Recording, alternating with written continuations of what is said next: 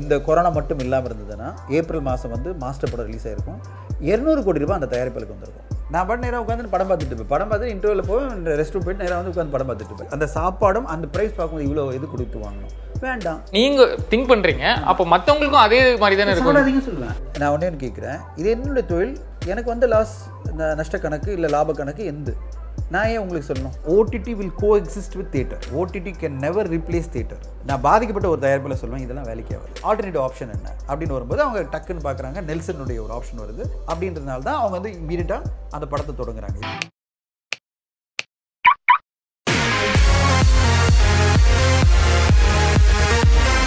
Friday facts இது review இல்லை report so இன்னைக்கு நம்ம ஷோவில் பார்க்க போகிறது யாருன்னு பார்த்தீங்கன்னா producer distributor founder of BOFTA G Dhananjayan அவர்களை தான் பார்க்க போகிறோம் வணக்கம் சார் நீங்கள் வந்து ரொம்ப சந்தோஷமாக இருக்குது உங்களுக்கு பிடிச்சதே வந்து ஒரு நானும் வந்து எப்படியோ நீங்கள் ஓகே சொல்லுவீங்களா சொல்ல மாட்டீங்களா அப்படின்றதெல்லாம் தயக்கத்தோடு தான் ஃபோன் அடித்தேன் ஆனால் நீங்கள் எடுத்த உடனே ஸ்வீட்டாக சொன்னீங்க. அது கொஞ்சம் எனக்கு டக்குனு ஒரு ஷாக்கிங்காகவும் இருந்தது ரொம்ப ஹாப்பியாகவும் இருந்தது நான் யாரையுமே வந்து தவறாக நினைக்கிறதே இல்லை. அவங்கவுங்க அவங்க வேலையை பண்ணுறாங்க ஸோ என்னை வந்து மதித்து ஒருத்தர் கூப்பிடும்போது நான் எப்பவுமே ஓகேன்னு சொல்லுவேன். நன்றி சார், நன்றி நன்றி நன்றி. சரியா? அப்படி தான் இருக்கணும் நம்ம வாழ்க்கையில். சார் எனக்கு வந்து ஃபஸ்ட்டு கேள்வி வந்து உங்கள்கிட்ட கேட்க வேண்டியதுன்னா ஹூஸ் த ப்ரொடியூசர் நீங்கள் இப்போ வந்து ஒரு ப்ரொடியூசர் வந்து எக்கனாமிக்காக வந்து இந்த படம் வந்து பிஸ்னஸ் வைஸ் பண்ணணும் அப்படின்ற ஒரு கேட்டகரியில் நிறைய டைப்பில் இருக்காங்க. இன்னொருத்தவங்க வந்து இல்லை இது ஒரு ஆர்ட்டாக பார்க்குறாங்க ஒரு ரெஸ்பான்சிபிளோட சோஷியல் ரெஸ்பான்சிபிளோட நான் இதை கொண்டு போய் சேர்க்கணும் அப்படின்ற மாதிரிலாம் இருக்காங்க. தனஜெயன் அவர்கள் எந்த மாதிரி ப்ரொடியூசர் தனஞ்சயன் மட்டும் இல்லை இங்கே இருக்கிற நிறைய ப்ரொடியூசர்ஸ் நான் என்னை பற்றி மட்டும் பெருமையாக சொல்லிக்க விரும்பல. ஒரு படத்தினுடைய ஃபாதர் மதர் எல்லாமே ப்ரொடியூசர் தான். அவர் தான் வந்து ஒரு ப்ராஜெக்டை வந்து அப்ரூவல் பண்ணுறாரு ஒருத்தர் வந்து கதையை கொண்டு வராரு. அந்த கதை ஒர்க் ஆகுமா இல்லையா? எந்த கேஸ்ட் அண்ட் குரூவோட பண்ணால் இது ஒர்க் ஆகும்? என்ன பட்ஜெட்டில் பண்ணால் ஒர்க் ஆகும்? அது பிறகு இந்த பட்ஜெட்டை நான் எப்படி ரிகவரி பண்ண போகிறேன் இதுக்கு என்ன டைட்டில் வைக்க போகிறேன் டைட்டில் ரெஜிஸ்ட்ரேஷன் நான் தான் பண்ணணும். கதையை நான் தான் வந்து ஃபைனல் பண்ணணும். நான் என்ன ப்ரொடியூசர் சொல்கிறேன் தனஞ்சயன் எடுத்துக்காதீங்க. இப்போ நம்ம பேசுகிறது எதுவுமே ப்ரொடியூசர் தான். தனஞ்சயன்ன்றது தனிப்பட்ட மனிதர் இப்போ ஒரு ப்ரொடியூசராக நான் இதெல்லாம் பண்ணோம் அது பிறகு டைட்டில் ரெஜிஸ்டர் பண்ணோம் டைட்டில் அவைலபிள் இல்லைன்னா வேறு ஆப்ஷன் பார்க்கணும். அதுக்கு ஃபர்ஸ்ட் லுக் வந்து டைரக்டர் ஒன்று திங்க் பண்ணுவார். ஆனால் எனக்கு ஒன்று தோணும். மக்களுக்கு எப்படி போய் ரீச் ஆகுமா? ஏன்னா ஒருத்தருக்கும் ஒரு வேக்கி ஐடியா இருக்கும். ஆனால் நம்மளுக்கு வந்து ஒரு சின்ன ஒரு தாட் இருக்கும். எனக்கு இதில் தான் சின்ன டவுட் ஒன்று இப்போ நீங்கள் சொன்னீங்க ஒவ்வொருத்தருக்கும் ஒரு ஐடியா இருக்கும். டேரக்டர் வந்து இப்படி நினைப்பாரு நான் இப்படி நினைப்பேன். ஸோ நீங்கள் ஒரு கால்குலேட் ஒரு நீங்கள் இல்லை சாரி ஒரு ப்ரொடியூசராக வந்து ஒரு கால்குலேஷன் இருக்கும். பிஸ்னஸ் வைஸ் நம்ம இதை இப்படி தான் பண்ணணும் இப்படி தான் போவோம் ஸ்ப்ரெட் பண்ணால் நம்ம பீப்புள் கிட்ட ரீச் ஆகும் அப்படின்னு சொல்லி. ஆனால் டேரக்டருக்கு அவரோட ஸ்டோரி வைஸ் அவருக்கு ஒரு பிளான் இருக்கும். ஸோ இது ரெண்டுத்துக்குள்ள முரண்பாடை வந்து ஒரு ப்ரொடியூசர் எப்படி ஹேண்டில் பண்ணுவார்? அது சின்ன சின்ன காம்ப்ரமைஸ் தான். எதுவுமே வந்து நம்ம வந்து ஒரு பாயிண்ட் ஆஃப் வியூ தானே. இப்போ எனக்கு ஒரு பாயிண்ட் ஆஃப் வியூ இருக்கும் அவருக்கு ஒரு பாயிண்ட் ஆஃப் வியூ இருக்கும். ஆனால் மத்தியில் ஒரு அண்டர்ஸ்டாண்டிங் வந்துடும் இப்போ ரெண்டு பேர் நடுவில் ஒரு பாயிண்ட் ஆஃப் வியூ இருக்கும் ஆனால் நடுவில் இங்கே வந்துடும் சரி ஓகே ஃபைன் உனக்கு வேணாம் எனக்கு வேணாம் இது போய்க்கலாம் அப்படின்னு. அவர் நான் எப்பவுமே மூணு ஆப்ஷன் கேட்பேன். இப்போ அவர் ஒரு ஆப்ஷன் சொல்லுவார் நான் ஒரு ஆப்ஷன் சொல்லுவேன் அப்புறம் மூணாவது ஒரு ஆப்ஷன் வந்து நிற்கும் ஏதோ ஒரு வகையில் நாங்கள் செட் ஆகிடுவோம் எப்பவுமே என்னென்னா கன்சென்சஸ் தான் ரொம்ப முக்கியம். அதாவது ரெண்டு பேர் மத்தியில் ஒரு அண்டர்ஸ்டாண்டிங் வந்தே ஆகணும். அதனால அந்த படம் ப்ளசண்ட்டாக அமையணும் அப்படின்னா நரகம் இல்லாமல் சமாதானமாக ரெண்டு பேரும் விட்டு கொடுத்து போகிறது விட்டு கொடுத்துட்டு போயிட்டே இருக்கணும். நான் விட்டு கொடுப்பேன். நிறைய விஷயத்தில் விட்டு கொடுப்பேன். அவர் நிறைய விஷயத்தில் விட்டு கொடுப்பாரு. ரெண்டு பேருமே விட்டு கொடுத்து போகும்போது என்ன பண்ணால் ஸ்மூத்தாக முடியும். சரி இப்போ இந்த விட்டு கொடுக்கறது ஓகே அந்த மேட்ரு ஓகே பட் அந்த ஸ்டோரியோட சோலை வந்து எதுவுமே டச் பண்ணாம டிஸ்டர்ப் பண்ணாம இதெல்லாம் மோல்ட் பண்ணி வெளியே கொண்டு வரதுன்னு ஒன்று இருக்குல்ல? அதுதான். அது அதில் வந்து ப்ரொடியூசராக இன்வால்வ் பண்ணக்கூடாது. நான் எப்பவுமே என்னுடைய பாயிண்ட் ஆஃப் என்னன்னா ஒரு கதையை லாக் பண்ணுற வரையும் நான் போராடுவேன். நீங்கள் ஒரு கதை சொன்னீங்க வச்சிங்களேன் அது ஹண்ட்ரட் பர்சன்ட் பர்ஃபெக்டாக இருக்கே இருக்காது. ஒரு செவன்ட்டி பர்சன்ட் எயிட்டி பர்சன்ட் பர்ஃபெக்டாக இருக்கும். இப்போ அடுத்து டுவெண்ட்டி பர்சன்ட் இருக்குது பார்த்தீங்களா அதில் நான் வந்து அதை பெருகேற்றணும் நான் இந்த எயிட்டி பர்சன்ட் நம்ம தொட மாட்டோம். ஃபஸ்ட்டு ஒரு கதை வந்து நாற்பது பர்சன்ட் தான் இருக்குன்னு வச்சிங்களேன் அதை நம்ம தொட போகிறதில்ல ஏன்னா இதை மெருகேற்றி அறுபது பர்சன்ட் கொண்டு போகிறதெல்லாம் உயிர் போயிடும். நம்ம ஒரு எண்பது பர்சன்ட் சரியான கதை இருக்கு வச்சுங்க. இல்லைனா ஒரு ரீமேக்காக இருக்கலாம். ஒரு எண்பது பர்சன்ட் சரியாக இருக்கும். அதை வந்து இருபது பர்சன்ட் நம்ம டிங்கர் அப்படி பண்ணால் டிங்கரிங் பண்ணி அதை வந்து நம்ம நம்ம ஆடியன்ஸ்க்கு ஏற்ற நம்ம ஆடியன்ஸ் கொஞ்சம் மாற்றுறது இருபது பர்சன்ட் இப்போ இந்த இருபது பர்சன்ட்டில் பார்த்தீங்கன்னா ரெண்டு பேருக்கும் விட்டு கொடுத்துல இருக்கும். நான் ஒன்று சொல்லுவேன் அவர் ஒன்று சொல்லுவார் டைரக்டர் ஒன்று சொல்லுவார் ரைட்டர் ஒன்று சொல்லுவார். இப்போ பார்த்தீங்கன்னா ஒரு உதாரணம் நான் சொல்கிறேன் கபடதாரி படம் எக்ஸாம்பிள் பார்த்தீங்கன்னா கன்னட படத்தில் பார்த்தீங்கன்னா நிறைய விஷயங்கள் அவங்க வந்து அண்டர்ஸ்டுடாக எடுத்துட்டாங்க. ஆடியன்ஸ் வந்து அண்டர்ஸ்டாண்ட் பண்ணிக்கணும்னு. ஆனால் படமாக பார்க்கும்போது நம்மளுக்கு என்னடா இது மிஸ் ஆன மாதிரி இருக்குது இது மிஸ் ஆன மாதிரி இருக்குது இது மிஸ் ஆன மாதிரி இருக்குது ஏன்னா நம்ம ஆடியன்ஸ் நிறைய கேள்வி கேட்பாங்க. இப்போ இதுக்கெல்லாம் பதில் என்ன? அப்படின்னு வரும்போது நம்ம ஆட் பண்ணுறோம் இப்போ டேரக்டர் ஒன்று சொல்லுவார் இல்லை சார் நீங்கள் ஸ்பூன் ஃபீட் பண்ணுறீங்க இப்போ அவருடைய பாயிண்ட் ஆஃப் வியூ அப்போ கரெக்ட் இல்லை. நான் ரொம்ப டீட்டெயிலிங்காக சொல்ல நினைக்கிறேன். ஒரு ஸ்க்ரீன் ப்ளே அடாப்டேஷனாக நானும் ஜான் மகேந்திரன் அவர்களும் உட்காந்து ஸ்க்ரீன் ப்ளே பண்ணுறோம் அவர் கூட உட்காரும்போது அவர் என்ன சொல்வார்? இல்லை சார் இது வேணாம். இது இப்போ ஸ்க்ரீன் பிளேயும் நீங்க இன்வால்வ் பண்ணி நான் ஃபுல்லாக ஸ்க்ரீன் பிளே என்னுடைய படங்களில் நிறைய படங்களில் நான் ஸ்க்ரீன் பிளே தான் உட்காருவேன் நான். என் ஸ்க்ரீன் பிளே அடாப்டேஷனில் நான் தான் உட்காந்து பண்ணுவேன் நான். இப்போ ஸ்க்ரீன் பிளே அடாப்டேஷன் இப்போ வந்து எந்த படம் இருந்தாலும் சரி நான் டிஸ்ட்ரிபியூஷன் படம் எடுத்தாலும் அந்த படத்தை எடுத்த பிறகு கண்டிஷன் என்ன சொல்லுவேன்னா இதில் குறைகள் இருக்குது தவிர்க்கப்படக்கூடிய குறைகளை நம்ம கரெக்ட் பண்ணலாமா? Okay okay. ஓகேங்களா? ஃபார் எக்ஸாம்பிள் நான் ஒரு இப்போ சமீபத்து படம் சொல்கிறேன் காவல்துறை உங்கள் நண்பன் படம் ஆரம்பிக்குது. ஆரம்பிச்ச உடனே ஒரு எட்டு நிமிஷத்துக்கு ஒரு கதை ஏழு நிமிஷத்துக்கிட்ட ஒரு கதை வந்து இந்த ப்ரொட்டகனிஸ்டினுடைய வாழ்க்கைக்கு சம்மந்தப்படாத போலீஸ் எப்படி இயங்குறாங்கன்ற ஒரு ஸ்டோரி சொல்லியிருந்தாங்க. படம் வந்து சென்சர் ஆயிடுச்சு. இப்போ அந்த படத்தை எனக்கு போட்டு காமிச்சேன்னா நான் வந்து ஒன்றே ஒன்று தான் சொன்னேன். சார் நம்ம ப்ரொட்டகனிஸ்ட் கதையை தான் நான் எதிர்பார்த்துட்டு இருக்கேன் நீங்கள் யாரோ ஒருத்தருடைய கதையை வந்து ஏழு நிமிஷம் காமிச்சிட்டு இருந்தீங்கன்னா அது பிறகு டைட்டில் ஆரம்பிக்குது. அப்போ எனக்கு இம்பேக்ட் வர மாட்டேங்குது எனக்கும் அந்த கதைக்கும் சம்மந்தமே இல்லை. அது அப்படியே தூக்குறதுனா நான் இன்வால்வ் ஆகிறேன். ஓகே ஓகே ஓகே இது என்னுடைய பெர்ஸ்பெக்டிவ் ஓகேங்களா? இது வந்து ரைட்டாக இருக்கலாம் ராங்காக இருக்கலாம். அப்புறம் அந்த டீம் எல்லாம் உட்காந்து பேசினாங்க. டூ டேஸ் கழிச்சு என்கிட்ட என்ன சொன்னாங்க சார் நீங்கள் சொல்கிறது கரெக்ட் நாங்கள் தூக்கிறோம் அப்படியே. இப்போ ரீசென்சருக்கு அப்ளை பண்ணி அதை வந்து ஃபுல்லாக தூக்கிட்டாங்க. அதை தான் டெலிட்டட் சீனாக நாங்கள் போட்டோம். ஓகே ஓகே ஓகே நான் இதை கேட்கணும்னு முடிவு இருந்தேன் ஆக்சுவலி என்னன்னா நீங்க வந்து புக் எழுதிருந்தீங்க ரைட் நேஷனல் அவார்ட். அவார்ட் போயிட்டு இருந்தது. அந்த தாட் உங்களுக்கு எப்படி வந்துச்சு ஃபர்ஸ்ட் இது பண்ணலாம் அப்படின்னு இல்லை நான் வந்து முதல்லேருந்தே பார்த்தீங்கன்னா சினிமா மேலே அதீத ஆர்வம் எனக்கு. நைன்டி எயிட்லேருந்து நைன்டி எயிட்டில் எப்போ உங்களுக்கு அந்த நைன்டி எயிட் நான் வந்து சினிமா நான் நாலு வயசுலேருந்து சினிமா இண்டஸ்ட்ரி தான். நம்புவீங்களா? ஐம்பது வயசு ஐம்பது வருஷமா சினிமாவில் இருக்கேன். எப்படி இருக்கு? ஸோ ஆமாம் நாலு வயசில் நான் சினிமாவில் ஆர்வமாக இன் இன்வால்வ் ஆகிட்டு இன்னைக்கு வரையும் நான் வந்து டெய்லி ஒரு படம் பார்க்கன்னா தூங்க மாட்டேன். சரி நீங்க வெறும் ரீஜனல் ஃபிலிம்ஸ் மட்டும் தான் பார்ப்பீங்க இங்கிலீஷ் எல்லாமே. நான் வந்து நான் வந்து அடிப்படையில் ஆரம்பித்ததே என்னுடைய கெரியர்லாம் பார்த்தீங்கன்னா தமிழ் தெலுங்கு படங்கள். நான் வந்து பிறந்து வளர்ந்ததெல்லாம் ஆந்திரா பார்டர் ஒரு வில்லேஜ் தமிழ்நாட்டில் சேர்ந்த ஆந்திரா பார்டர் வில்லேஜ் இந்த பக்கம் பார்த்தா தெலுங்கு இந்த பக்கம் தமிழ் அப்படி தான் இருப்போம். எல்லாருமே தமிழ் தெலுங்கு பேசுவோம். அதாவது அங்க மாதிரி தான் பேசுவோம். ஏன்னா சித்தூர் டிஸ்ட்ரிக்ட் பக்கத்தில் எங்கள் ஊர் இருந்தது. அதனால் என்ன ஆச்சுன்னா நான் வந்து தமிழ் தெலுங்கு பேசும்போது நான் பார்த்துட்டு இருக்க படங்கள்லாம் பார்த்தீங்கன்னா எம்ஜிஆர் அவர்கள் சிவாஜி அவர்கள் அது பிறகு என் டி ராமாராவ் நாகேஸ்வர ராவ் சோபன் பாபு கிருஷ்ணா இப்படி தான் படம் பார்த்துட்டு இருப்போம். அங்கே ரெண்டு தேட்டரில் தெலுங்கு படம் ஓடும் ஒன்று தான் தமிழ் ஓடும். அப்போ நான் தமிழ் தெலுங்கு படங்களை பார்த்து வளர்ந்த பிறகு அது பிறகு நான் படிக்க மும்பை போகும்போது நான் வந்து நிறைய ஹிந்தி படங்களை பார்க்க ஆரம்பித்தேன் மராட்டி படங்களை பார்க்க ஆரம்பித்தேன் இப்படி நிறைய அதாவது எல்லா லாங்குவேஜ் படங்களும் பார்க்க ஆரம்பிச்சப்போ தான் உலக சினிமா பற்றி நிறைய புரிதல் வந்தது. அது பிறகு நான் சினிமா மீது ஆர்வமாக இருந்தது தொட்டு நான் படித்து படித்து மேலே வந்தாலும் சினிமா தான் என்னுடைய மெயின் துறையாக வந்தது. சரிகமா ஹெச்எம்பியில் நான் ஜெனரல் மேனேஜர் சேல்ஸ் அண்ட் மார்க்கெட்டிங்காக ஜாயின் பண்ணுறேன் அப்போ தான் வந்து நிறைய தமிழ் படங்களை வாங்க ஆரம்பிக்கிறேன். நான் பாம்பேல தான் இருந்தேன். பாம்பேல தான் படித்து எம்பிஏ எல்லாம் படித்து பாம்பே மியூசிக் ரைட்ஸ் மட்டும் மியூசிக் ரைட்ஸ் வாங்குவோம். அப்போது முதல் முதல்ல ஒரு படத்தினுடைய என்ன விஷயம்னு கேட்குறது யார்? நாங்கள் தான். மியூசிக் ஆமா ஃபஸ்ட்டு போயிட்டு பாட்டு கேட்போம். இப்போ ஃபார் எக்ஸாம்பிள் வந்து நாங்கள் ரெண்டாயிரத்தில் வந்து மின்னிலை படத்தினுடைய பாட்டை கேட்டு ரொம்ப நீங்க ரசிச்சு- ஃபர்ஸ்ட் படம் அந்த மாதிரி அந்த மாதிரி நான் ஆரம்பிச்ச படங்களை பார்த்தீங்கன்னா சர்ப்ரைஸ் ஆவீங்க. Monisha and Monalisa. O. T. Rajendar அவர்கள். அதை வாங்கி பெரிய லெவல் இட்டது மியூசிக்கலி நல்ல பெரிய ஹிட் ஆச்சு. அது பிறகு எனக்கு வந்து பெரிய ஹிட் எல்லாம் கொடுத்தது ரஹ்மான் சார் தான். ரஹ்மான் சாருடைய அலைப்பா இதை கண்டு கொண்டேன் கண்டு கொண்டேன் ரிதம் அது பிறகு வரிசையா படங்கள் எடுத்தீங்கன்னா அப்புறம் ஸ்டார் அப்படின்ற படம் வரிசையா உதயா நிறைய மியூசிக்கல் படங்களாக நாங்கள் வந்து ரிலீஸ் பண்ணிட்டு இருந்தோம் நீங்க ஃபர்ஸ்ட் இருக்க மாதிரி இப்போ ஆடியோக்கு அவ்வளோ பிசினஸும் இல்ல மார்க்கெட்டும் இல்ல. முன்னாடி சிடி இருந்தது இவ்வளவு கேசட் நாங்கள் வித்ததெல்லாம் கேசட்டு நீங்கள் நம்ப மாட்டீங்க. முதல் நாள் நாங்கள் நாலு லட்சம் கேசட் வந்து அலைப்பா இதை லான்ச் பண்ணோம். நாலு லட்சம் சேல் ஆயிடுச்சு. அது கியூ ஆமா ஃபர்ஸ்ட்ல கியூல நின்னுலாம் வாங்கிட்டு வாங்கிட்டு போவாங்க. ரஹ்மான் சாரோட மியூசிக்கு நாங்கள் வந்து நாலு லட்சம் கேசட் விற்று உடனே விற்று போய் ஒன்றரை லட்சம் கேசட் வாங்கினோம். சரி இப்போ அந்த மாதிரி ஆடியோ ரைட்ஸ் அவ்வளோ போறதுக்கு காரணம் என்ன? இல்லை டிஜிட்டல் வந்துடுச்சுல்ல கம்ப்ளீட்டாக வந்து டூ தௌசண்ட் ஃபோரில் பார்த்தீங்கன்னா டிஜிட்டல் கம்ப்ளீட்டாக உலகமயமாக போது அது பிறகு வேல்யூ இல்லை நம்மளுக்கு. டிஜிட்டல் எல்லாரும் வந்து மொபைலில் கேட்க ஆரம்பிச்சிட்டாங்க. இந்த காலர் டியூன் எப்போ வந்ததோ அப்போ தான் வந்து கேசட் வேல்யூ போயிடுச்சு. காலர் டியூன் வந்தது. அது பிறகு பார்த்தீங்கன்னா எல்லாரும் சாங்கை டவுன்லோட் பண்ண ஆரம்பிச்சாங்க. டக்கு டக்கு டக்குன்னு எல்லாம் மாறி பைரசி மூலியமா? வைரசி நிறைய எல்லாம் பண்ண ஆரம்பிச்சாங்க. பட் ஆனால் டிஜிட்டல் இன்னைக்கு மிகப்பெரிய லெவலில் ஒரு வேணும் ஸோ இப்போல்லாம் வந்து அந்த படத்தோட டைம் ஸ்பேன்ன்றது லைஃப் ஸ்பேன் ஒரு அஞ்சு நாள் இல்ல? முடிஞ்சு போச்சு. இப்போ என்னுடைய படம் அந்த படம் பார்த்தீங்களா மிஸ்டர் சதுமலி? ஆறாம் தேதி வெளியே வந்து பன்னெண்டாம் தேதி அவுட் ஏன்னா பன்னெண்டாம் தேதி வந்து கிட்டத்தட்ட என்னுடைய முந்நூற்றி இருபது ஸ்க்ரீனில் ரிலீஸ் பண்ணோம். பன்னெண்டாம் தேதி இரநூறு ஸ்க்ரீன் தூக்கிட்டா. பதிமூணாம் தேதி இன்னும் நூறு ஸ்க்ரீன் தூக்கிட்டா. அடுத்த வாரம் பார்த்தீங்கன்னா இருபது ஸ்க்ரீனில் கண்டினியூ ஆச்சு அப்போது நான் முந்நூற்றி இருபது தேட்டில் பர்ஃபெக்டாக பிளான் பண்ணி ரிலீஸ் பண்ணது காரணம் என்னன்னா கடைக்குட்டி சிங்கம் வரும்போது எனக்கு ஒரு நூற்றம்பது ஸ்க்ரீன் போவோம் இரநூறு ஸ்க்ரீனில் என் படம் கண்டினியூ ஆகும். இரநூறுல நூற்றி எண்பது ஸ்க்ரீனாவது கண்டினியூ ஆகும் செகண்ட் வீக்கு நான் ஓரளவு ரெவன்யூ எடுக்கலாம் பிளான் பண்ணேன். எல்லா பிளானும் சோப்பட் அப்படின்வாங்க ஹிந்தியில் இது சோப்பட் ஆகிடுச்சு அப்புறம் ஒன்றுமே பண்ண முடியாது. என்ன காரணம்னா நான் கோர்ட்டுக்கு அப்போ முடியும் இது வந்து ஃப்ரீ ட்ரேட் வேர்ல்டு சினிமா என்பது ஒரு ஃப்ரீ ட்ரேட் என்னுடைய படத்தை எடுத்த தயாரிப்பாளர் நான் எடுத்த ஒரு தயாரிப்பாளர்னா எனக்கு என்னைக்கு ரிலீஸ் பண்ணணும்னு எனக்கு உரிமை இருக்குது நீங்கள் வந்து கண்ட்ரோல் பண்ண முடியாது. அப்படின்னு அவங்க சொல்லும்போது அது கண்டிப்பாக வேலிடு எல்லாருக்கும் சொல்லுவேன். நான் பாதிக்கப்பட்ட ஒரு தயாரிப்பாளர் சொல்லுவேன் இதெல்லாம் வேலைக்கே ஆகாது. நீங்கள் பிளான் பண்ணிக்கணும் உங்களுக்கு ஒரு காம்படிஷன் இருக்க போகுது அந்த காம்படிஷனோட தான் ரிலீஸ் பண்ண போகிறீங்க இதில் ஜெயிக்க முடியுமா இல்லையன்றதை நீங்கள் தான் டிசைட் பண்ணிக்கணும் மற்றவங்கள ப்ளேம் பண்ணக்கூடாது அஸ் கண்டென்ட் நல்லா இருந்ததுன்னா ஆப்வியஸ்லி அது அது அது ஏதோ அது கிடைக்க வேண்டிய தலையெழுத்து. See ஒரு ஒரு படத்துக்கும் ஒரு தலையெழுத்து இருக்குது அதுக்கு என்ன ரெவென்யூ கிடைக்கணுமோ அது கிடைச்சிரும்.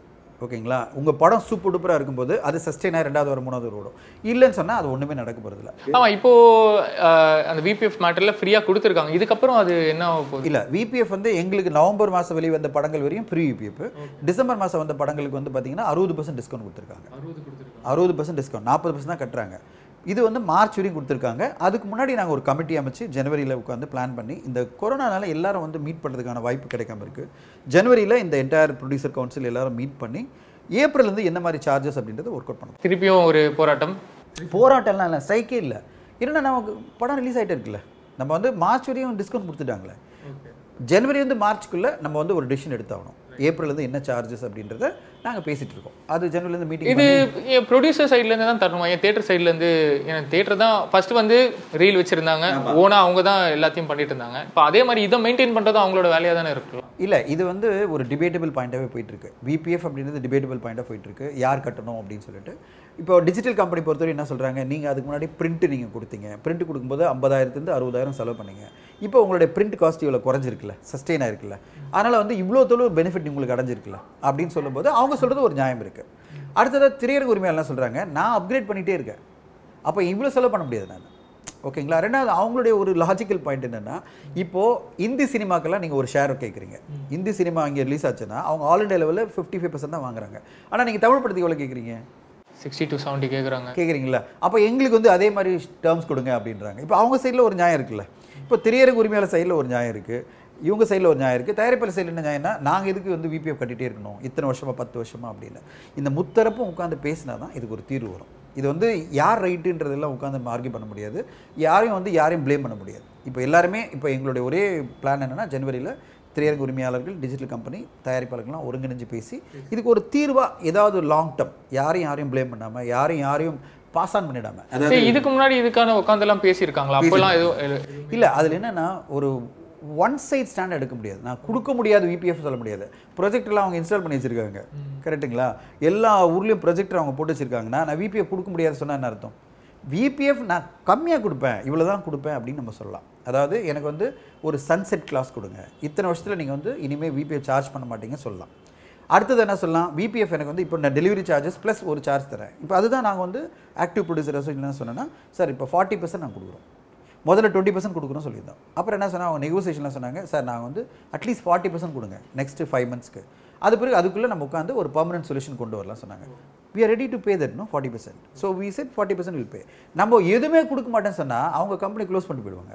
இப்போ எல்லா தேட்டருமே வந்து மல்டிப்ளெக்ஸாக முக்கால்வாசி வருது இண்டிவிஜுவல் தேட்டர் வந்து கொஞ்சம் கொஞ்சமாக அழிஞ்சிட்டு தான் இருக்குது இப்போ எனக்கு என்ன ஒரு கேள்வி இதில் இருந்ததுன்னா இப்போ மல்டிப்ளெக்ஸில் ஒரு ஃபேமிலியாக நாங்கள் போயிட்டு ஒரு படத்தை வந்து பார்க்கலாம்னா ஒரு மூவாயிரம் ரூபாய் செலவாகும். இதை பார்க்கிங் டிக்கெட்லேருந்து உள்ள பாப்கார்ன் வைக்கிறதுலேருந்து அப்புறம் நம்ம அது டின்னர் போகிறோம் அப்படின்னு. ஒரு ஃபேமிலியாக போனால் கண்டிப்பாக ஒரு த்ரீ தௌசண்ட் ஆகுது. இது வந்து ஒரு படம் பார்க்க போகிறதுக்கு ஒரு மூவாயிரம் ரூபாய் செலவு பண்ணி ஒரு எளிய மனிதன் ஒரு சாதாரண மனிதனாக இருந்தால் அப்போ ஒரு எலைட் சினிமாவாக இது மாறிட்டு இருக்கா அப்படின்ற மாதிரி இல்லை அது எனக்கு என்னமோ ரொம்ப எக்ஸாசரேட் பண்ணி சொன்ன மாதிரி இருக்கு. என்ன காரணம்னா ஒரு டிக்கெட் எடுத்துங்க. இன்னைக்கு மல்டிப்ளெக்ஸில் போய் போனீங்கன்னா நூற்றம்பது ரூபா தான் டிக்கெட் மொத்தமாக நூற்றி இருபது ரூபா ப்ளஸ் ஜிஎஸ்டியோட பார்த்தீங்கன்னா நூற்றம்பது ரூபா. ஒரு நாலு பேர் கொண்ட குடும்பம் போகுதுன்னா அறநூறுபா தான் உங்களுக்கு காஸ்ட் பார்க்கிங் ஓகே ஃபைன் நீங்கள் காரை பார்க் பண்ணினா ஒரு அறுபது ரூபாய் சார்ஜ் ஆகலாம். அதுக்கு பிறகு நீங்கள் பாப்கார்ன் வாங்குறீங்களா காஃபி வாங்குறீங்களான்றது உங்களோட. சாய்ஸ் அப்படின்றீங்க ஆனா நான் என்ன சொல்ல வரேன்? உங்களை யாரும் கம்பல் பண்ணலையே. சரி நம்ம வந்து இந்த காஸ்ட்டை வந்து நம்ம தியேட்டருக்காரங்க சார்ஜ் பண்ணுறாங்க சொல்கிறது ரொம்ப தப்பான விஷயம். அவங்க வந்து அவங்களோட இடம். இப்போது நம்ம இங்கே ஒரு காஃபி ஷாப்பில் உட்காந்துரும் கேஃபே சென்டரில் இதே காஃபி இதே இது நீங்கள் அங்கே பக்கத்தில் எதில் வாங்குனீங்கன்னா ரோட்டில் வாங்குனீங்கன்னா பதினஞ்சு ரூபாய் கிடைக்கும். கரெக்ட்டுங்களா அங்கே நம்ம வந்து நூற்றம்பது ரூபா கொடுக்க ரெடியாக இருக்கும்.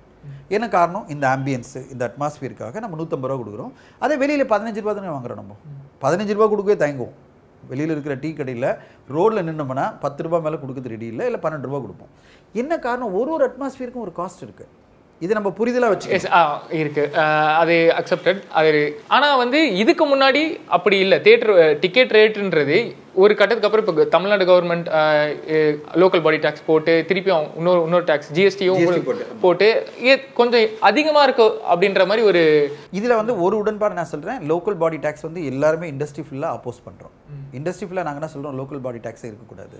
அது வந்து கண்டிப்பாக தூக்கணும். ஏன்னா இந்தியாவிலே வேறு எங்குமே இல்லாத ஒரு லோக்கல் பாடி டேக்ஸை நீங்கள் இம்போஸ் பண்ணியிருக்கீங்க தமிழ்நாட்டில் மட்டும் இதுக்கு ப்ளீட் பண்ணிட்டு இருக்கோம். வெகு விரைவில் அதுக்கு தீர்வு வந்துடும் நம்பிக்கை இருக்கு. லோக்கல் பாடி டேக்ஸ்ன்றது unnecessary burden on the audience எட்டு பர்சன்ட் அடிஷ்னலாக இப்போ நம்மளுக்கு என்ன கிடைக்குது பாருங்களேன். திரையரங்கு உரிமையாளருக்கும் எங்களுக்கு என்ன கிடைக்குது? எட்டு பர்சன்ட் கவர்மெண்ட் எடுத்துக்குது. அது மேலே ஒரு பதினெட்டு பர்சன்ட் ஜிஎஸ்டி எடுத்துக்குது. அப்போ இருபத்தாறு பர்சன்ட் நீங்கள் வந்து கவர்மெண்ட் தான் கொடுக்குறீங்க. இப்போ நூற்றி ஐம்பது ரூபாய் டிக்கெட்டுன்னா அதில் முப்பது ரூபா நீங்கள் கவர்மெண்ட் தான் கொடுக்குறீங்க. ஓகேங்களா? நூற்றி இருபது ரூபா தான் எனக்கு கொடுக்குறீங்க. இப்போ நிறைய பேர் என்ன சொல்லுவாங்க ஆன்லைன் லீவில் சார்ஜ் பண்ணுறாங்க டிக்கெட்டிங் சார்ஜஸ் அப்படின்னா அது கன்வீனியன்ஸ்க்காக அவங்க பண்ணுற சார்ஜ் நீங்கள் தேட்டரில் கவுண்டரில் வாங்கிக்கலாம்.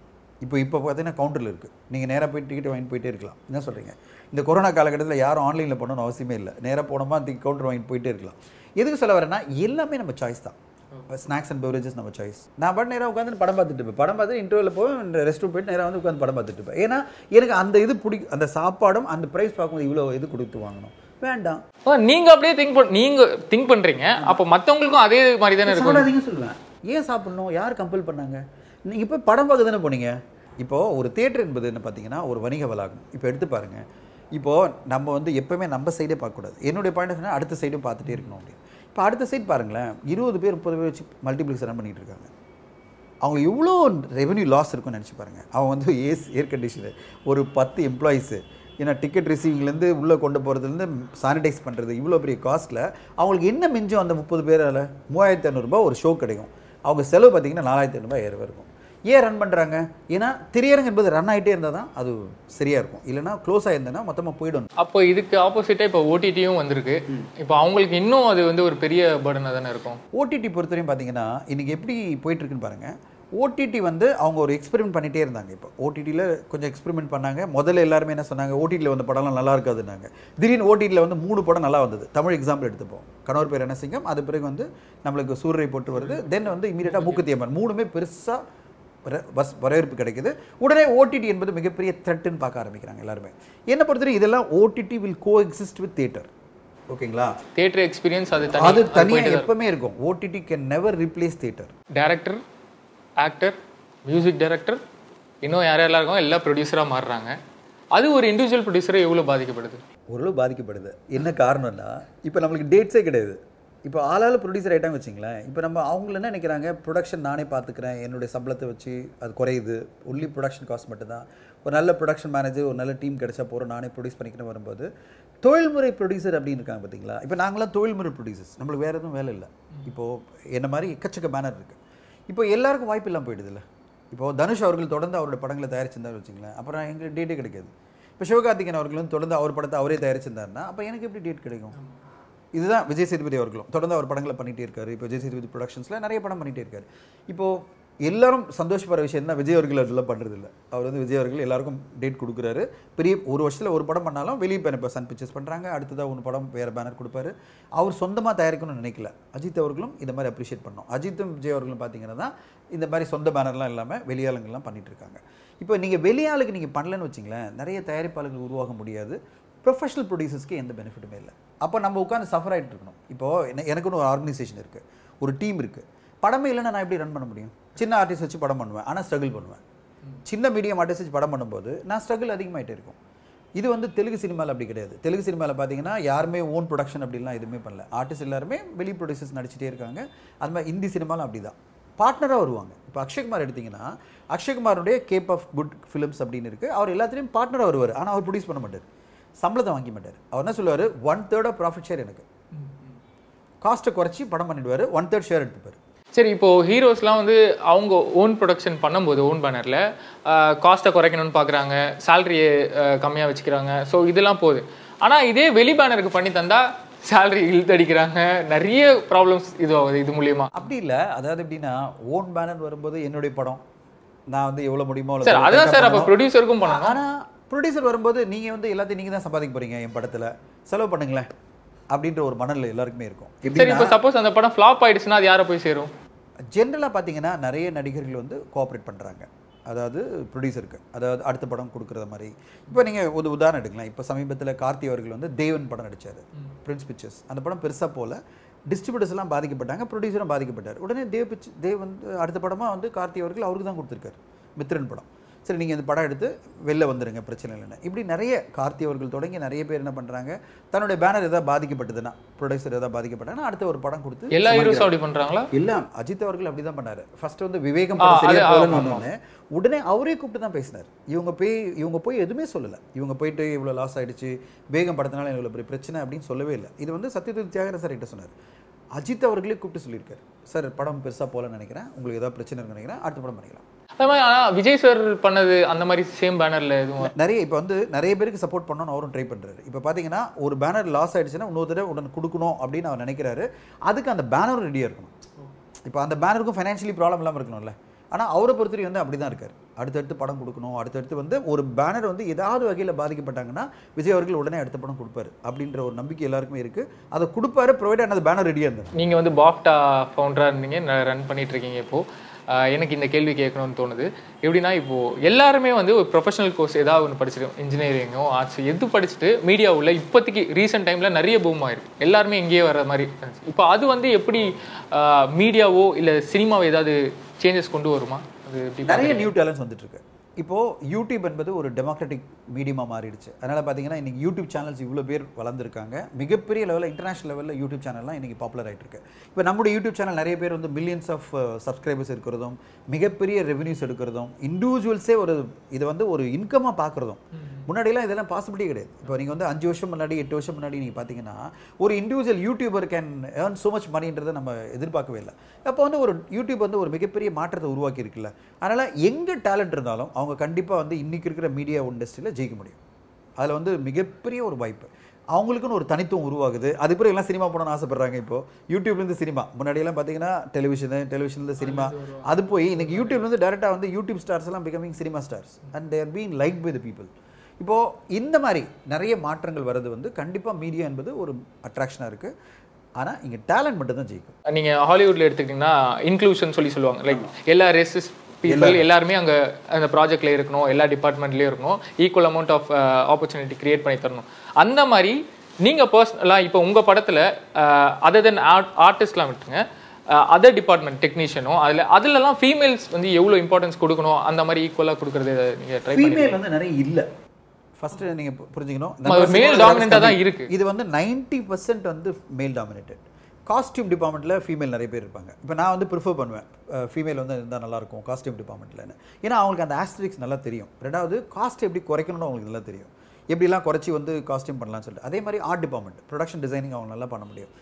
ரெண்டாவது முக்கியமான விஷயம் பார்த்தீங்கன்னா டைரக்ஷனில் பர்டிகுலர் ஆர்டிஸ்ட்க்கு டயலாக் சொல்லி தரதெல்லாம் ஹீரோ இவங்களுக்கு ஹீரோயின்ஸ்க்குலாம் சொல்கிறதெல்லாம் வந்து ஒரு எல்லாம் ஈஸியாக பண்ண முடியும்.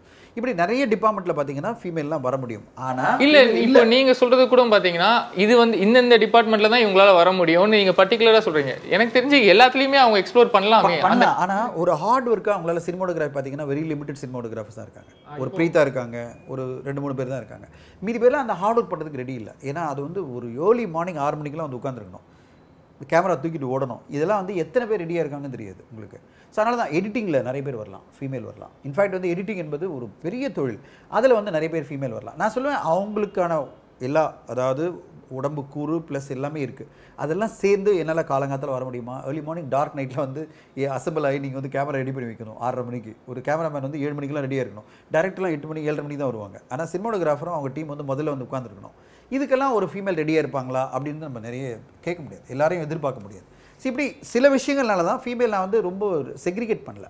ஆனால் நிறைய பேர் வரதில்லை முக்கியமான விஷயம் பார்த்தீங்கன்னா டைரக்ஷனில் வரதுக்கு ரெடி நிறைய பேர். ஏன்னா டைரக்ஷன் என்பது ஈஸி அவங்களால வந்து இந்த மாதிரி ஏர்லி மார்னிங் வந்து இவ்வளோ கஷ்டப்படணும் அவசியம் கிடையாது. அதனால் டேரக்டராக நிறைய ஃபீமேல் வராங்க. ஆனால் டெக்னீஷியனாக வரவங்க ரொம்ப கம்மி தான் காஸ்டியூமில் வருவாங்க. போனால் உங்களுக்கு ஆர்ட் டிபார்ட்மெண்ட்டில் இருப்பாங்க. இல்லைன்னு சொன்னால் உங்களுக்கு வந்து இப்படி இப்படி பார்த்தீங்கன்னா அசிஸ்டன்ட் டைரக்டர்ஸ் இப்படி இருப்பாங்க. எடிட்டிங்கில் கொஞ்சம் பேர் இப்போ தான் ஆரம்பிச்சிருக்காங்க. ஆனால் என்னை பொறுத்தவரையும் வந்து நிறைய ஆப்பர்ச்சுனிட்டி இருக்குது ஃபீமேலுக்கெல்லாம் நிறைய பேர் வந்தால் தானே பண்ண முடியும். இப்போ ரீசெண்ட் டைம்ஸில் வந்து விமன் சென்ட்ரிக் படங்கள் நிறைய வருது. ஆனால் ஒரு சில படங்கள் அதுக்கான ஒரு கண்டென்ட்டோட கரெக்டாக இருக்குது ஆனால் பல படங்கள் வந்து ஃபீமேல் சென்ட்ரிக்காக வருதுன்னா அப்படியே வந்து இப்போ ஒரு ஹீரோயிசம் ஹீரோ வந்து ஒரு ஹீரோயிசம் பண்ணுறாருன்னா அது அப்படியே காப்பி பேஸ்ட்டாக இருக்குது ஹீரோயிஸ் ஹீரோயின் வந்து அந்த ஹீரோயிசம் பண்ணுறாங்க ஸோ இந்த மாதிரி தான் இருக்குது இப்போ ஃபீமேல் அந்த கேரக்டருக்கு ஏற்ற ஒரு தனித்துவமும் அவங்க அதை எப்படி பண்ணால் கன்சியூம் ஆகும் எல்லாருக்கும் ஆடியன்ஸ்க்கு அதுக்கேற்ற மாதிரி பண்ணிப்பாங்க. ஆனால் அதை விட்டுட்டு இவங்க இவங்க என்ன பண்ண ஹீரோஸ் என்ன பேட்டர்ன் ஃபாலோ பண்ணுறாங்களோ அதே இப்படி நம்ம பண்ணுவோம் அப்படின்ற போது அது எப்படி அது ஒர்க் ஆகுது. என்னை பொறுத்தவரையும் அந்த மாதிரி ஹீரோ ஒரு கதை வந்து ஒரு மனிதன் அதாவது ஒரு ஆம்பளைக்கான ஒரு கதை வந்து நீங்கள் பொம்பளை வந்து ஒரு ஃபீமேல் ஆர்டிஸ்ட்டை நீங்கள் திணிச்சிங்கன்னா ஒர்க் அவுட் ஆகுது. ஆனால் அறம் எடுத்து பாருங்க. பர்ஃபெக்டாக ஒரு ஃபீமேல் கலெக்டர் அவங்க என்ன பண்ண முடியும்? அந்த அன்பா ஒரு அம்மாவுக்கே இருக்கிற ஒரு அந்த பெண்மைக்கே இருக்கிற ஒரு விஷயம் என்னன்னா அந்த குழந்தைய எப்படியாவது காப்பாற்ற முடியும். ஒரு ஆண் மகனா நினைச்சுப்பாங்க ப்ராக்டிக்கலாக யோசனை பண்ணுவாங்க. அதெல்லாம் பாசிபிலிட்டி கிடையாதுங்க. கிளம்பு எல்லாரும் அப்படின்னு இருப்பாங்க. ஆனால் ஒரு ஃபீமேல் வரும்போது அது அந்த ஒரு அம்மா இது வந்துடும் பாசம் வந்துடும் ஆக்சுவலி பார்த்தீங்கன்னா ஒரு மேல் பண்ண வேண்டிய ஒரு கதை ஒரு டிடெக்டிவ் கதை இல்லைன்னா ஒரு ஆக்ஷன் கதை அந்த கதையில் வந்து ஒரு ஃபீமேல் ஒரு பெரிய ஸ்டாரை நான் போட்டால் வந்து அந்த படம் ஓடிடுனா எனக்கு நம்பிக்கை இல்லை. நான் வந்து ஒரு அடுத்த கதையாக வந்து ஃபீமேல் சென்ட்ரிக் கதை வந்து ஒரு ரீமேக் தான். சிலாசோ அப்படின்னு ஒரு தெலுங்கில் வந்த படம். அது சிலாசோன்ற படம். ரொம்ப சூப்பரான ஒரு ஃபீமேல் சென்ட்ரிக் கதை அது. அது வந்து இப்போ நீங்க நெக்ஸ்ட் ப்ராஜெக்ட் அதான் பண்றீங்க. அது அடுத்தது அடுத்த வருஷம் பண்ணணும். ஆக்சுவலி இந்த வருஷம் பண்ண வேண்டிய பிளான் அது எல்லாமே கொரோனால போஸ்ட் பண்ணால் நெக்ஸ்ட் இயர் பண்ண போகிறோம் அது வந்து ஒரு பெரிய ஹீரோயின் தான் பண்ண போகிறாங்க producer co producer associate producer line producer creative producer இந்த மாதிரிலாம் இருக்குல்ல. இந்த டேர்ம்ஸ்லாம் இருக்கு. இது அவங்களோட வேலைகள் என்ன? அதை எப்படி பிரிக்கிறாங்க? இன்னும் என்னென்ன டைப் ஆஃப் ப்ரொடியூசர்ஸ் இருக்கு? இல்லை நீங்கள் எல்லாத்தையும் கவர் பண்ணிட்டீங்க. கிரியேட்டிவ் ப்ரொடியூசர் ஒன்று இருக்குது ஓகேங்களா இப்போ என்னுடைய இது என்னன்னா எனக்கு வந்து ஒரு இன்வெஸ்டர்ஸ்லாம் வருவாங்க. அவங்கெல்லாம் ப்ரொடியூசர்ஸ் அவங்க என்ன சொல்லுவாங்க? கிரியேட்டிவ் கண்ட்ரோல் உங்களுது அப்படின்வாங்க அதாவது அந்த ப்ராடக்ட் எப்படி வருதுன்றது நான் தான் பொறுப்பு.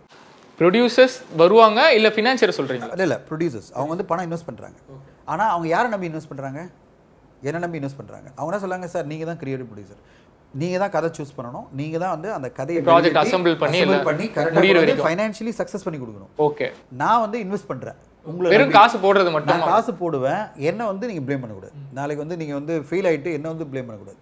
நான் உங்களை நம்பி தான் போடுறேன். அப்படின்னு வரும்போது இப்போ நான் ஐ பிகம் கிரியேட்டிவ் ப்ரொடியூசர் இப்போ அடுத்ததாக எக்ஸிகூட்டிவ் ப்ரொடியூசர்னா அவரே எல்லாத்தையும் போய் எக்ஸிக்யூட் பண்ணிட்டு இருக்க முடியாது. இப்போ இவர் நெகோஷியேட் பண்ணி கொடுத்துருவாரு. ஒரு எக்ஸிகூட்டிவ் ப்ரொடியூசர் வந்து அங்கே எக்ஸிக்யூட் பண்ணிட்டு இருப்பாரு. ஆன் த ஃபீல்ட் யூனிட்லாம் அசம்பிள் பண்ணுறது அவங்கள உட்கார வைக்கிறது கரெக்ட் டைமில் வந்து அசம்பிள் பண்ணி ஷூட்டிங் ஆரம்பிக்கிறது. மேனேஜர் மாதிரி. கம்ப்ளீட்டாக அவர் தான் மேனேஜர் ஆனால் எக்ஸிக்யூட்டிவ் ப்ரொடியூசர் சொல்லுவோம். கம்ப்ளீட்டாக அவர் தான் பத்து பேர் அவர் கீழே ரெண்டு மேனேஜர் இருப்பாங்க. ஏன்னா ஒரு நூற்றம்பது பேர் அசம்பிள் பண்ணி ஆகணும் ஆர்ட் டிபார்ட்மெண்ட் சரியாக செட் ஆகணும். இந்த ஷூட்டிங் இன்னைக்கு போயிட்டே இருக்கும் நாளைக்கு ஷூட்டிங் ரெடியாக இருக்கணும். நாளைக்கு ஷூட்டிங் ரெடியாக இருக்கணும். ஏன்னா நான் ஸ்டாப்பாக ஒரு ஷெட்யூல் போடுறீங்க வச்சுங்களேன் முப்பது நாள். அப்படின்னு வரும்போது கண்டினியூஸாக எல்லா டிபார்ட்மெண்ட்டும் ரெடியாக இருக்கணும். ஒரே இடத்துல நீங்கள் ஷூட் பண்ண போகிறதில்ல அப்படின்னு வரும்போது லைன் அதாவது ஒரு ப்ரொடக்ஷன் எக்ஸிக்யூட்டிவ் இருப்பார். அதுக்கு மேலே ஒரு லைன் எக்ஸிக்யூட்டிவ் ப்ரொடியூசர் இருப்பார். அதுக்கு பிறகு ஒரு லைன் ப்ரொடியூசர் இருப்பார். அதுக்கு பிறகு ஒரு கிரியேட்டிவ் ப்ரொடியூசர் இருப்பார். அதுக்கு பிறகு ரியல் ப்ரொடியூசர்ஸ் யார் இன்வெஸ்ட் பண்ணாங்களோ அவங்க இருப்பாங்க. இத்தனை பேர் சேர்ந்து தான் ஒரு படம். ஆனா நிறைய படங்கள் வந்து இந்த ஃபினான்ஷியல் லாக் பண்ற அந்த மாதிரி இதுல நிறைய படங்கள் வந்து கிடப்பிலேயே இருக்கு. இன்னும் கூட ரிலீஸ் ஆகாம. இப்போ அதுக்கெல்லாம் இப்போ அந்த படம்லாம் அட்லீஸ்ட் ரிலீஸ் ஆனாவது கொஞ்சம் காசு தான் கிடைக்கும். அதை வச்சா இதை பண்ணலாம். அதை ஏன் ரிலீஸ் பண்ணாம அப்படியே ஒண்ணுமே வச்சிருக்காங்க நீங்கள் நிறைய படங்கள் உங்களுக்கு தெரியும். லிஸ்ட் இருக்கு. வரிசையாக உங்களுக்கு தெரியும். எக்கச்சக்கமாக ஒரு முக்கியமான படங்களே இருக்கு. ஆமா. இது எல்லாமே பார்த்தீங்கன்னா அந்த வட்டி is equivalent to almost capital ஓப்பா. முப்பத்தாறு நாற்பத்தெட்டு பர்சன்ட் வட்டியில் நினச்சி பாருங்க. ஒரு பத்து கோடி ரூபாய் என்ன ஆயிருக்கும்? காம்பவுண்டட் இன்ட்ரெஸ்ட் போட்டிங்கன்னா ஒரு பத்து கோடி ரூபாய் நீங்கள் பாரோ பண்ணியிருந்தீங்கன்னா நாலு வருஷத்தில் அது வந்து ஆக்சுவலி பிகம் டுவெண்ட்டி க்ரோஸ் சரி ஆனா இந்த படங்கள்லாம் அப்படியே தானே இருக்கு. அதுக்கு ஏதாவது ஒண்ணு பண்ணி எங்கேயாவது வித்து தள்ளி யார் விட்டு கொடுக்குறது? அந்த ஃபைனான்ஸ் என்ன சொல்லுவார்? நான் என்னுடைய லாஸ் அடைஞ்சேன்ல. இப்போ நான் பத்து கோடி ரூபாய் நான் கொடுத்துருக்கேன். நீ அதை வச்சு தான் படம் எடுத்த. ஆனால் அதுக்கு பத்து கோடி ரூபாய் வட்டியே இருக்கு. நான் வெளியில் கொடுத்தா அந்த வட்டி வந்திருக்குமா இல்லை எனக்கு? அப்போ என்னுடைய ரெவன்யூ போயிடுச்சுல்ல. அட்லீஸ்ட் ஃபைவ் க்ரோர் அது கொடு அப்படின்னு கேட்குறாரு இவர் என்ன சொல்றாரு? என்கிட்ட பத்து கோடி தான் இருக்குது ஏன்னா இன்னைக்கு காலகட்டத்தில் அந்த படம் மூணு வருஷம் ஆயிடுச்சு நாலு வருஷம் ஆயிடுச்சு. பழசாயிருக்கும். இனிமேல் வேல்யூ கிடையாது. எனக்கு பத்து கோடி தான் கிடைக்கும். அதனால நீ பத்து கோடி எடுத்துட்டு அசல் எடுத்துட்டு திருப்பி கொடுன்னு சொன்னா அந்த ஃபைனான்சர் சொல்றாரு எதுக்கு அசல் எடுத்து நான் திருப்பி கொடுக்கணும்? எனக்கு வந்து அட்லீஸ்ட் கொஞ்சமாவது வட்டி வரணும்ல அப்படின்னு. இந்த ஒரு டக் ஆஃப் வார் இருக்குது பார்த்தீங்களா இரண்டு பேர் மத்தியிலும் போயிட்டே இருக்கும். இது வந்து என்னை பொறுத்தவரையும் தவறு வந்து ப்ரொடியூசர் கிட்ட தான். சரி அப்போது இரநூறு கோடி முந்நூறு கோடி அப்படின்ற ஒரு பட்ஜெட் இருக்குல்ல ஒரு படத்துக்கு. அது தேவை அவசியம் தானா? தேவையா? அதே வந்து ஒரு பத்து கோடியிலேயே வந்து நல்ல படங்கள் நல்ல கதைகள் இரு- பண்ணலாம். நம்ம முடிஞ்சா. முடிஞ்சா இல்லை பண்ணலாம். அதுதான் ஃபேக்ட்டு ஆனால் அவங்க அவ்வளோ ஒரு முந்நூறு கோடி ரூபாய்க்கு ஒரு படத்தை எடுத்துட்டு ஒரு முந்நூற்றி பத்து கோடி ரூபாய்க்கு அவங்களுக்கு அதை பிஸ்னஸ் பண்ணி ஒரு பத்து ரூபா பார்க்குற பெரிய ப்ராஃபிட்டாக இருக்குமா? இல்லை ஒரு பத்து கோடி ரூபாய்க்கு ஒரு படத்தை பண்ணிட்டு முப்பது கோடி ரூபாய் இல்லை இருபத்தஞ்சு கோடி ரூபா ப்ராஃபிட் பார்க்குறது ஒரு பெரிய ப்ராஃபிட்டாக இருக்கும்? இப்போது இதை ஒரு எக்ஸாம்பிள் எடுத்துப்போம். இப்போ சமீபத்தில் இந்த கொரோனா மட்டும் இல்லாமல் இருந்ததுன்னா ஏப்ரல் மாதம் வந்து மாஸ்டர் படம் ரிலீஸ் ஆயிருக்கும். இரநூறு கோடி ரூபாய் அந்த தயாரிப்பாளருக்கு வந்திருக்கும். இதில் இரநூறு கோடி ரூபாயில் தேட்ரிக்கலாக பார்த்தீங்கன்னா நூறு கோடி தான். நூறு கோடி. அதர் ரைட்ஸ் இப்போ நீங்கள் எடுத்தீங்கன்னா satellite is satellite is went for fifty digital went for இருபது. எழுபது கோடி ரூபாய் வந்துருச்சு. அவருக்கு வந்து Hindi dubbing went for some twenty two crores இப்போ பார்த்தீங்கன்னா எவ்வளோ வந்துச்சு பாருங்க உங்களுக்கு? கிட்டத்தட்ட எண்பத்தி ரெண்டு கோடி ஆயிடுச்சு. அது பிறகு மியூசிக் ரைட்ஸ் வந்து நாலரை கோடி ரூபாய் போச்சு. எண்பத்தாறு கோடி ரூபாய் வந்துருச்சு. ஓவர்சீஸ் வந்து டிஜிட்டல் அண்ட் சேட்டலைட்டே பன்னெண்டு கோடி ரூபாய் போயிருக்கு. ஆல்மோஸ்ட் ஹண்ட்ரட் க்ரோ வந்துருச்சு. அப்போ ஒரு ஹண்ட்ரட் க்ரோர் எங்கே வருது? தேட்டருக்கு லைட்ஸ் தான். இப்போ அவங்க பாதிக்கப்பட்டிருக்கிறதே தேட்டருக்கு லைட்ஸ் தான். மீதி ஹண்ட்ரட் க்ரோர் அவங்க ஆல்ரெடி கவர் பண்ணிட்டாங்க. அந்த படத்தினுடைய பட்ஜெட் நினைக்கிறீங்க? மேக்ஸ் போகிற நூற்றி நாற்பது கோடி தான். அப்போது நூற்றி நாற்பது கோடி ரூபாய் பட்ஜெட் இருக்கிற அந்த படத்துக்கு நூறு கோடி ரூபாய் அதர் ரைட்ஸ் மூலமாக இன்னைக்கு கேரண்டியாக வரும்போது ஏன் நூற்றி இரநூத்தி நாற்பது கோடியில் படம் பண்ணக்கூடாது? நான் சொன்னது முந்நூறு கோடி கிட்ட அந்த இல்லை இல்லை முந்நூறு கோடின்றது எக்ஸப்ஷனல் அது நீங்கள் பார்த்தீங்கன்னா முந்நூறு கோடி நடந்தது ஒன்லி டூ பாயிண்ட் ஓ தான். இன்னைக்கு வரையும் பார்த்தீங்கன்னா டூ பாயிண்ட் ஓலாம் விட்டுருங்க. சங்கர் சார்னுடைய டூ பாயிண்ட் ஓ பாகுபலிலாம் விட்டுருங்க. அதெல்லாம் exceptional rare one of films தான். இன்னைக்கு ஜென்ரலாகவே படங்கள் பார்த்தீங்கன்னா தமிழ் சினிமாவில் ஹையஸ்ட் பட்ஜெட் எடுத்திங்கன்னா நூற்றி நாற்பது நூற்றம்பது இவ்வளோ தான் இப்போது சன் பிக்சர்ஸ் பாருங்கள் எவ்வளோ ஸ்மார்ட்டாக ஒரு பிஸ்னஸ் பண்ணியிருக்காங்க. அவங்க வந்து ஓவராலாக பார்த்துருக்காங்க. இப்போது முருகதாஸ் சாரோட படம் வந்து பார்த்தீங்கன்னா கிராண்டான ஒரு படம். நூற்றி இருபது நூற்றி எழுபது கோடி போகும். ஓகேங்களா? இவங்க நினைக்கிறாங்க இந்த கொரோனா காலகட்ட பிறகு எப்படி தியேட்டருக்கு ரெவன்யூ இருக்கும் தெரியாது. இந்த நூறு கோடி டவுட் இருக்குல்ல. அவங்களுக்கு ஒரு நாற்பது கோடி ரூபாய் ப்ராஃபிட் எடுத்தாகணும் கரெக்ட்டுங்களா இரநூறு கோடி இதே பிஸ்னஸ் பண்ணி ஆகணும். இப்போ இரநூறு கோடி ரூபாய் பிஸ்னஸ் பண்ணணும்னு நினைக்கும் போது அவங்க என்ன நினைக்கிறாங்க நூற்றி நாற்பதில் மாஸ்டர் முடிஞ்சிடுச்சு. அவங்க அறுபது கோடி ரூபாய் ப்ராஃபிட் இருக்குது நான் ஏன் நூற்றி அறுபது கோடியில் ஒரு படம் பண்ணணும்? அப்போ என்ன பண்ணுறாங்க பிளான் போடுறாங்க. இந்த கிராண்டான படம் எனக்கு வேணாம். அப்படின்னு வரும்போது ஆல்டர்னேட்டிவ் ஆப்ஷன் என்ன? அப்படின்னு வரும்போது அவங்க டக்குன்னு பார்க்குறாங்க நெல்சனுடைய ஒரு ஆப்ஷன் வருது. நெல்சன் கொடுக்குற படம் நூற்றி இருபது கோடியிலே முடியும்னு வரும்போது இரநூறு கோடி பிஸ்னஸ் கேரண்டி இருக்குது அப்போ எனக்கு ப்ராஃபிட் அதிகமாகுது இல்லை நான் ரிஸ்க்கும் கொஞ்சம் அதிகமாக எடுக்க முடியும். அப்படின்றதுனால தான் அவங்க வந்து இமீடியட்டாக அந்த படத்தை தொடங்குறாங்க. இப்போ இன்றைக்கி other it's a grown like crazy okay ஒரு சேட்டலைட் ஒரு டிஜிட்டல் பெரிய ஆர்டிஸ்ட் மட்டும் நான் சொல்கிறேன் சின்ன ஆர்டிஸ்ட்கெல்லாம் கிடையவே கிடையாது.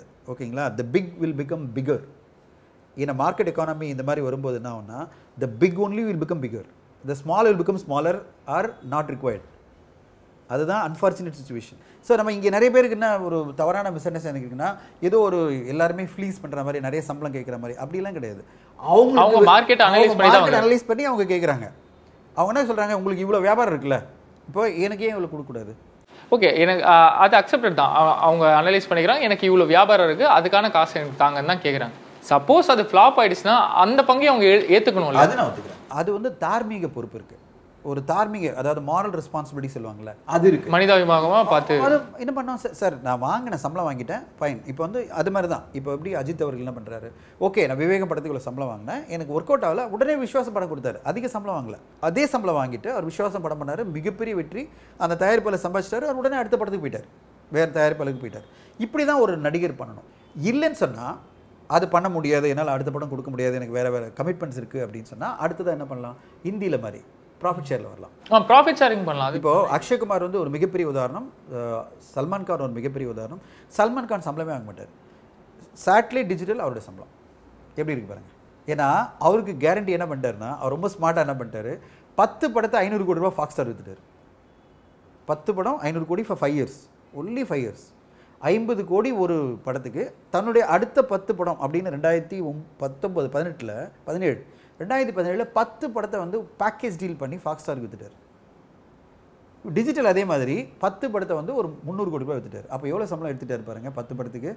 எட்நூறு கோடி ரூபாய் எடுத்துட்டாரு. ஆனால் ப்ளீஸ் அண்டர்ஸ்டாண்ட் இஸ் எட்நூறு கோடி ரூபாய் ஒன்லி நவ் ஃபைவ் இயர்ஸ் கழிச்சு திருப்பி அது எவ்வளோ ஆகும்? அட்லீஸ்ட் அட்லீஸ்ட் எட்நூறு கோடி ரூபாய் வரலன்னா அட்லீஸ்ட் ஃபிஃப்டி பர்சன்ட் வருமா?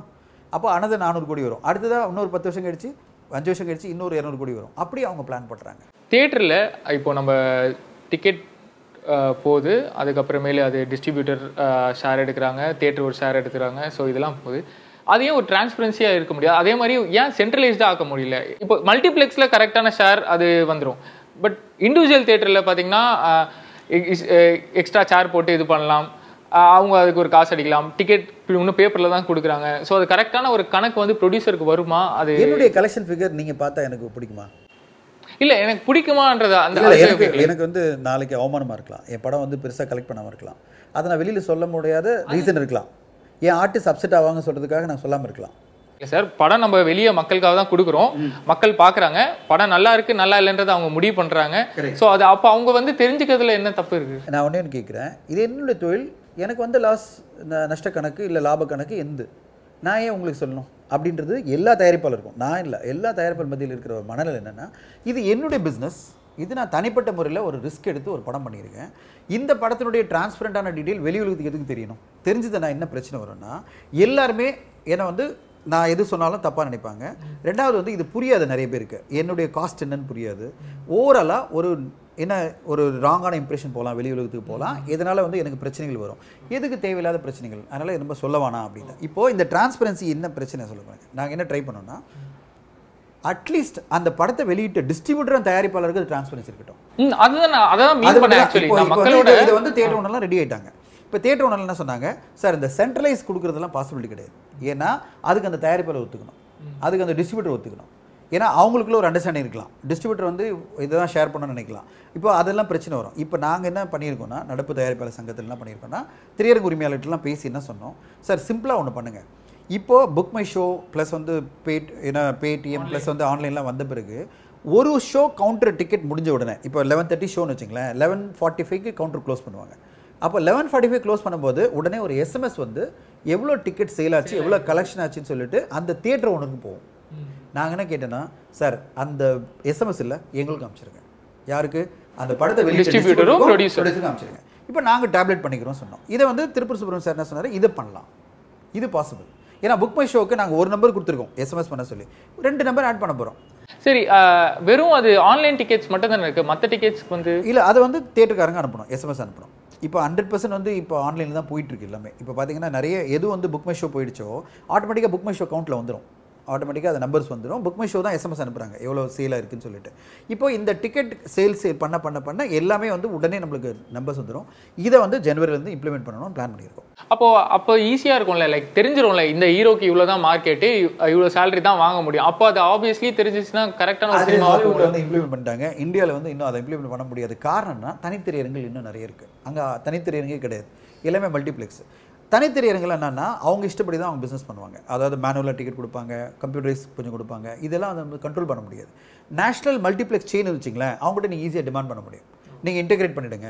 நேஷனல் மல்டிப்ளெக்ஸ் செயின் கிட்ட நீங்கள் போயிட்டு எங்களுடைய சென்ட்ரலைஸ் சாஃப்ட்வேர் இருக்குது இதோட நீங்கள் இன்டெகிரேட் பண்ணி ஆகணும் இன்டர்ஃபேஸ் பண்ணி ஆகணும் உங்கள் டேட்டா உடனே எங்களுக்கு அப்லோட் ஆகணும்னு சொன்னால் அவங்க பண்ணி தருவாங்க. இஃப் இண்டஸ்ட்ரி டிமாண்ட்ஸ் ஆனால் அப்படிப்பட்ட ஒரு சுச்சுவேஷன் இங்கே வாய்ப்பே இல்லை. என்னென்னா மல்டிப்ளெக்ஸ் எவ்வளோ இருக்காங்க இங்கே? மொத்தமாக பார்த்தீங்கன்னா இருபது பர்சன்ட் தான். எண்பது பர்சன்ட் தனித்தெரியறீங்க இது தமிழ்நாட்டில் மட்டும் இல்லை ஆந்திராலையும் அப்படி தான் இருக்குது ஸோ என்னைக்கு ஹண்ட்ரட் பர்சன்ட் எல்லாம் மல்டிப்ளெக்ஸ் ஆகும் ஃபியூச்சர்ல அது நடக்க வாய்ப்பு இருக்கா? அதுக்கு முன்னாடி நம்ம ஃபஸ்ட்டு திரையரங்கெல்லாம் சக்ஸஸ்ஃபுல்லாக போகணும் இந்த கொரோனா காலகட்டம் மறையணும் என்னுடைய எதிர்பார்ப்பு என்னன்னா வெகு விரைவில் இந்த கொரோனாக்கு வேக்சின் வந்துடுச்சு இப்போ. வேக்சின் வந்த பிறகு ஒரு நம்பிக்கையோட மக்கள்லாம் வரணும். திருப்பி நம்ம ஹண்ட்ரட் பர்சன்ட் ஆக்குபன்சியை தேட்டரில் பார்க்கணும். புதுசா இப்போ யங் ஜென்ரேஷனா வராங்களே சினிமா உள்ள புதுசா கால் எடுத்து வைக்கிறவங்க அவங்க என்ன மாதிரியான ஒரு எஃபர்ட்ஸ்லாம் போட்டு அவங்க நிலைநிறுத்தி மிக முக்கியமான விஷயம் என்னன்னா நான் ஏற்கனவே ஒரு கேள்விக்கு என்ன சொன்னேன்னா மிகப்பெரிய டேலண்ட்லாம் இங்கே கண்டிப்பாக ஜெயிச்சிருவாங்க சொன்னேன். அதோட சினிமா இண்டஸ்ட்ரி பொறுத்தவரை நெட்வொர்க்கிங் ரொம்ப ரொம்ப முக்கியம். இப்போ ஆர்ஜே பாலாஜி அவர்கள் எடுத்து பாருங்களேன். அவருடைய சக்ஸஸ்க்கான ஒரு முக்கியமான காரணம் அவருடைய நெட்வொர்க்கிங் அவர் ஆர்ஜேவாக இருக்கும்போது ஆர்ஜே வேலையை மட்டும் பண்ணல. அவர் வந்து அடுத்த கட்டமாக நெட்வொர்க் பண்ணுறாரு சித்தார்த்தா அவரும் சேர்ந்து ஒரு விஷயம் நல்லா பண்ணுறாங்க அந்த சென்னை ஃப்ளட்ஸ் அப்போ ஒன்று பண்ணுறாங்க அதனால அவருக்கு நிறைய நெட்வொர்க்கிங் மூலமாக நிறைய காண்டாக்ட்ஸ் கிடைக்குது. அப்புறம் விக்னேஷ் சிவன் க்ளோஸ் ஆகிறாரு அனிருத் க்ளோஸ் ஆகிறாரு. அப்படியே ஒரு நெட்வொர்க் உருவாகுது அவருக்குள்ள.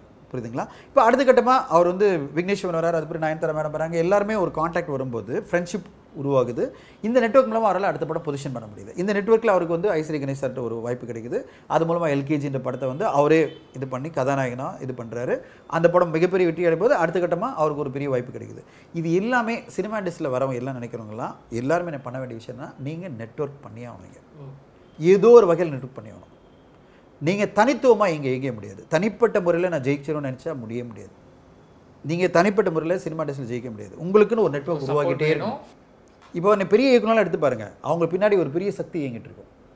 அதுதான் நெட்வொர்க் இது வந்து நான் பயஸ்ட்னு சொல்ல இது வந்து நெப்போட்டிசம்லாம் நான் சொல்ல இதெல்லாம் தப்பான வேர்ட்ஸ் இதெல்லாம். அவங்க அந்த நெட்வொர்க்கில் வந்துட்டாங்க. ஸோ அப்போ அவங்கள காப்பாற்ற வேண்டியது அந்த நெட்வொர்க்கினுடைய கடமையாயிடுது. இப்போ நீங்கள் ஒரு நெட்வொர்க்கில் இருக்கீங்களா இல்லையா? இப்போ நாளைக்கு நீங்கள் வந்து ஒரு டேரக்டர் ஆகணும்னு நினச்சி வச்சிங்களேன். ஃபஸ்ட்டு உங்களோட நெட்வொர்க் என்ன? இப்போ நீங்கள் எடுத்து பாருங்களேன் விஜய் சேதுபதி அவர்களுக்கு ஒரு நெட்வொர்க் இருக்குது சிவகார்த்திக் அவர்களுக்கு ஒரு நெட்வொர்க் இருக்குது எப்படி சூர்யா சாருக்கு ஒரு நெட்வொர்க் இருக்கோ விஜய் சாருக்கு ஒரு நெட்வொர்க் இருக்குமோ அஜித் சாருக்கு ஒரு நெட்வொர்க் இருக்குமோ அந்த மாதிரி இவங்களுக்குலாம் நெட்வொர்க் இருக்குது அந்த நெட்வொர்க் எப்படி வந்தது? அவங்களுடைய கடின உழைப்பு மூலமாக அந்த நெட்வொர்க் இப்போ எப்படின்னா தான் கஷ்டப்படும் போது யாரெல்லாம் ஒன்றா இருந்தாங்களோ இப்போ விஜய் சேதுபதி அவர்கள் வந்து குறும்படங்களில் நடிச்சிட்டு இருக்கும்போது அவங்களோட ஒரு நெட்வொர்க் கார்த்திக் சுப்ராஜ் நலன் குமாரசாமி அருண்குமார் இவங்கெல்லாம் வந்து அவரோட பயணிச்சிருந்தாங்க. இப்போ அவர் வளர்ந்து வரும்போது இவங்களாம் அவங்க நெட்ஒர்க்கில் வந்துடுறாங்க. ஒரு அஞ்சாறு டேரக்டர் இப்போ நலன்குமார் சார் வரும்போது அவரோட அசிஸ்டன்ட் கூட வந்துருவாங்க. இப்போ கார்த்திக் சுப்ராஜ் வரும்போது அவரோட அசிஸ்டன்ட் ஏன்னா அவர் அசிஸ்டன்ட்லாம் விஜய் சேதுபதி பழகிருப்பாங்க இப்போ நெட்வொர்க் எப்படி ஆகுது? எக்ஸ்பேண்ட் ஆகி எக்ஸ்பேண்ட் ஆகி எக்ஸ்பேண்ட் ஆகி பெருசாகுது நீங்கள் அந்த நெட்ஒர்க்கில் இல்லைன்னு சொன்னால் உங்கள் லைஃப் வந்து வில் பி ஸ்ட்ரகிள் சரி ஓகே சார் ரொம்ப இன்ட்ரெஸ்டிங்கான கான்வர்சேஷன் போச்சு. நிறைய யூஸ்ஃபுல்லான விஷயம் நீங்கள் சொன்னீங்க. நிறைய கேள்விகளுக்கு உங்கள் சைட்லேருந்து வேறு விதமான பதிலும் வந்தது. ரொம்ப நன்றி sir இணைஞ்சதுக்கு. Thank you thank you so much thank you so much என்னை இன்வைட் பண்ணி பேசுறதுக்கு